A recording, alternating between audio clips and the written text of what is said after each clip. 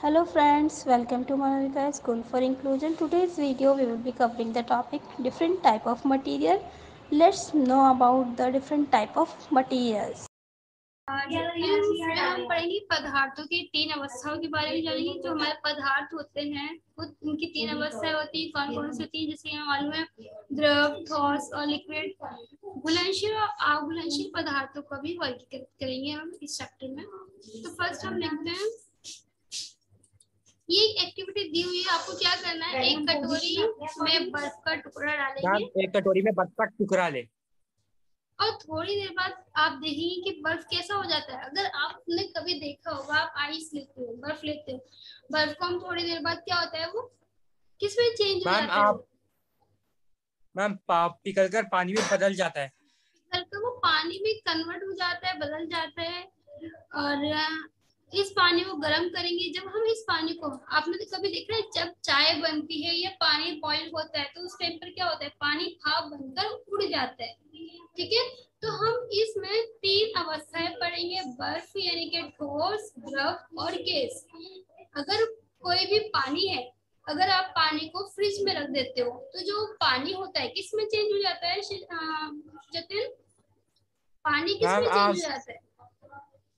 अगर हम उस पानी को फ्रिज में रखते हैं तो वो बर्फ़ बन जाता है वो ठोस की शक्ल हाँ। ठोस की शक्ल में आ जाता है। अगर आप उसी पानी को उस बर्फ़ को आइस को बाउल में रख देते हो कुछ समय के लिए तो आप क्या देखते हो? वो पानी बन जाता है बर्फ़ में चेंज हो जाता है। और जब आप पानी को बॉईल करते हो आपने बर्फ़ ली। बर्फ़ को बाउल में रखा कुछ समय के बाद जो बर्फ़ था आपका आइस था वो लिक्विड चेंज हो गया पानी बन गया। अगर हम पानी को वाटर को गर्म करते हैं तो क्या होता है जब फिर उसमें से भाप निकल जाती है गैस बनती है। और फिर मैंने आगे आप अपने घर के आसपास कई सारी वस्तुएँ देखिए जो ठोस द्रव और गैस की अवस्था में परिवर्तन किया जाता है जिन्हें हम ठोस में गैस में और द्रव में परिवर्तन कर सकते हैं। ऐसे कोई भी आपको एक एग्जांपल बताना अपने आसपास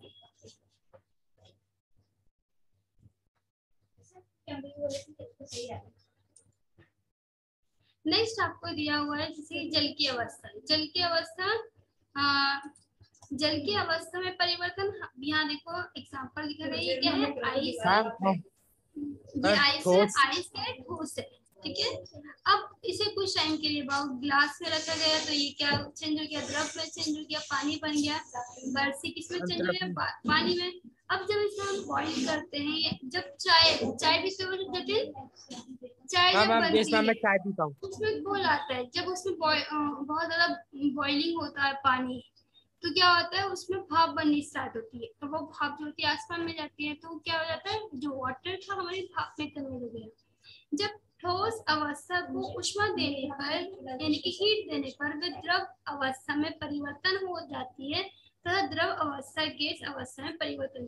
देखो जब यहाँ आइस था आइस को क्या मिली? हीट मिली गर्मी मिली तो ये किसमें चेंज हुआ? द्रव में चेंज हो गया। अब इस द्रव को यानी कि पानी को जब हम हीट देते हैं तो ये किसमें चेंज हो जाता है? ये भाप में चेंज हो जाता है गैस में चेंज हो जाता है।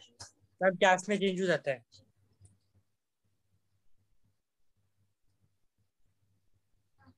घुलनशील और अघुलनशील पदार्थ कौन सा हैं? घुलनशील जैसे कि जो भी पदार्थ पानी में घुल जाता है उसे हम घुलनशील पदार्थ कहते हैं। और जो नहीं घुल पाता उसे हम अघुलनशील कहते हैं। जैसे कि हम एग्ज़ाम्पल देखते हैं यहाँ।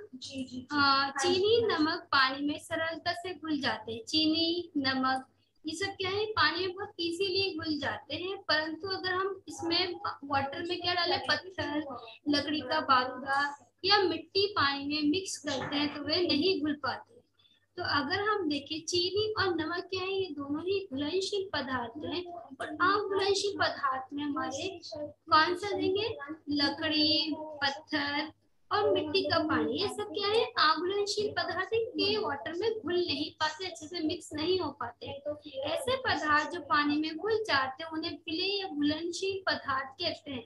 जो पानी में घुल जाते हैं उन्हें हम घुलनशील यानी कि मिक्स हो जाते हैं वाटर में उन्हें हम घुलनशील पदार्थ कहते हैं। जल में कई पदार्थ घुलते हैं, इसलिए जल को विलायक कहा जाता है। कि जल में कई सारे पदार्थ क्या हो जाते हैं, घुल जाते हैं, इसीलिए इसको क्या कहा जाता है, विलायक कहा जाता है। पदार्थ को जल में घुल जाने के बाद इस मिश्रण को विलयन कहते हैं। जब हमारा कोई भी पदार्थ वो जल में घुल जाने के बाद इस मिश्रण को हम मिक्स कर रहे हैं मिश्रण की प्रक्रिया कर रहे हैं। मिश्रण को विलयन कहते हैं, जो मिश्रण करने की प्रक्रिया है प्रोसेस है इसको हम विलयन कहते हैं। जैसे नींबू का रस जल में घुल जाता है है ना? अगर आप नींबू, आप देखते हो ना, गर्मी में ज़्यादातर लोग नींबू पानी पीते हैं तो नींबू का रस क्या है? ये जल में घुल जाता है। लेकिन सरसों का तेल जल में डालने पर ऊपर ही तैरता है। कभी आपने देखा है शिवान आयुष कि जब हम नींबू को पानी में डालते हैं तो वो तो मिक्स हो जाता है आप देखते हो शिकंजी बनाकर पी लेते हो। क्या कभी ऑयल जो सरसों का तेल होता है वो पानी में डालने पर क्या होता है? मैम जल को सरसों मैम जल को सरसों के तेल में डालकर जल के ऊपर ही तैरता है।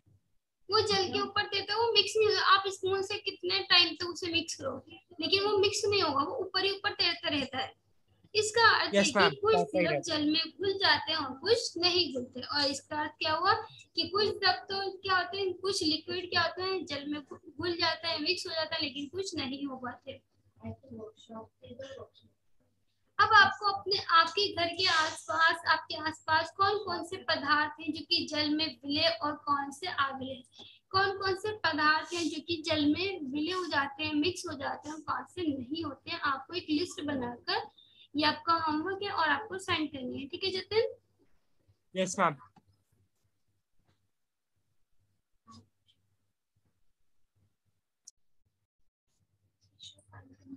आपको एग्जांपल दे पदार्थ का नाम जैसे कि चीनी है। चीनी क्या होती है? पानी में घुल जाती है लेकिन लकड़ी जो है लकड़ी क्या होती है? पानी में मिक्स हो जाती है लकड़ी का बारूदा लकड़ी को आप घिस लो तो वो क्या बन जाता है? लकड़ी का बहुत सारा घिसा हुआ लकड़ी का मटेरियल बन जाता है। तो क्या वो पानी में मिक्स हो जाएगा? वो चीनी की ऊपर बहुत बारीक बारीक हो गया लेकिन वो पानी में मिक्स हो सकता है। यस मैम पानी में आ, मिक्स हो जाएगा?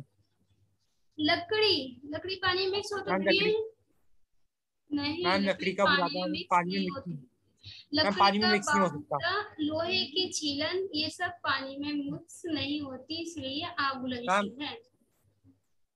Yes ma'am.